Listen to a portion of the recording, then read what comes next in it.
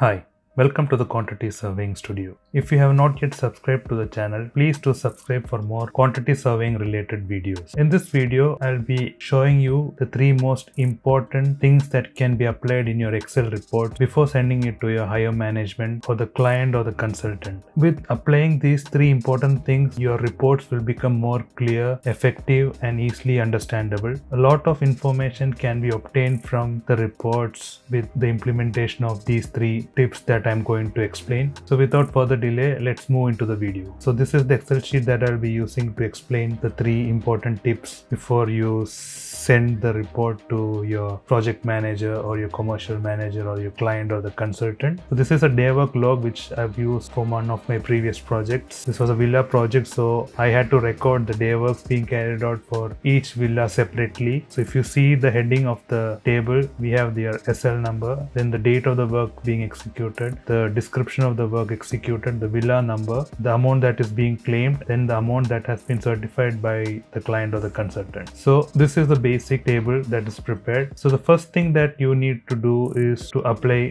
a filter. To apply the filter, what you need to do is select the heading of your table, go to sort and filter and click on filter. So now the filter has been applied and with this you can easily filter out different information. For example, if you need to filter out what are the works done in villa number one, you just unclick entire thing and just click on what you require. So you click on one, so you will get to know the works that has been executed in villa number one. Again, if you need to know what works has been executed on a particular date, first unclick, then click like if you need to know on January 7, 2018, what works were done, just click on that and click on OK. So you'll get to know the work that has been done on this particular date. So the first thing is filter. Now next thing is freeze So now if you see this report, if someone receives this report, if it's just scrolling down just like that, it is difficult to understand for that person to know what is 2860. Suddenly, he, just needs to go back and check like, okay, claim amount, this column is claim amount, this column is a certified amount. So if there is a lot of data, maybe someone might forget about it and again there will be confusion like what is this amount and what is this amount. So to avoid that confusion, we can use freeze pane. Freeze pane is freezing a particular part of your Excel sheet. So here we need to freeze this part. So for that what we can do is to keep this the remaining things can be scrollable and only this part is needed to be freeze. So you need to click on the row above which the freezing needs to be done. So here the freezing needs to be done at this part. So you need to click here and then go to view, click on freeze pane and then freeze pane. So once that is done, see now this your heading part, your heading row has become freeze and the remaining part of your table is scrollable. So it is easily you can just scroll down and easily understand okay 25 July 161 minutes claim amount 84 is the villa number. You need not just go above and then check what each column heading is. So this is the second thing that needs to be applied in your report. Now the third thing that is to be applied is your summary. Now every report will be having a summary. Since you're a quantity surveyor, all your reports will be cost related. So there will be a summary. So here we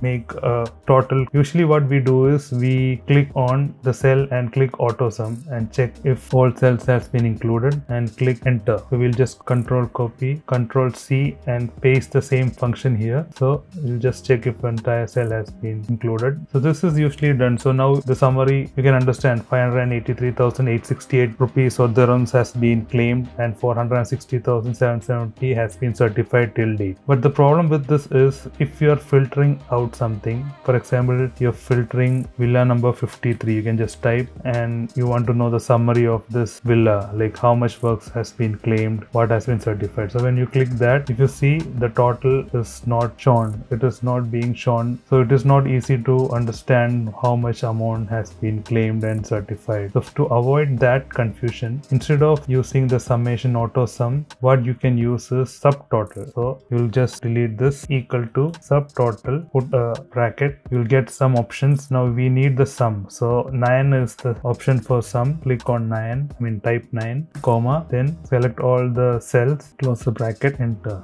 Now we'll control copy and put the same formula here. So now we have used subtotal for finding the summary. So now when we are filtering out, now let's see, we are filtering the details of 53 and click OK. See, now we have the total here. So 14,004 amount worth claim amount for day work has been done and 11760 has been certified. So if you need to again filter it date wise you need to know like for 2018 april. So we'll click 2018 april maybe 29 what is the amount of works done and what was certified. We'll click that. Again if you go down see 22734 amount of work was done was claimed and then only 3900 has been certified till date. So this is the third important thing that can be applied on your excel report. So if these three things are applied and then sent to your higher manager or the commercial manager project manager so it will be very easy for them to go through the file go through the report and understand it better. And it will be easy for you also. Suddenly if your manager is asking you like villa number seven just check how much work was done how much day work was done. You can easily go filter seven and then tell him okay 14068.45 amount of work was done and then you can just find out why the amount certified is less. And then you can do the necessary steps or necessary action to you know rectify this. So hope this video was informative. If you found it to be useful do share it with your friends and colleagues. Please do like this video if you found it to be useful. You can easily apply it in your daily professional life. Thanks a lot for watching. Keep learning. Stay safe. Bye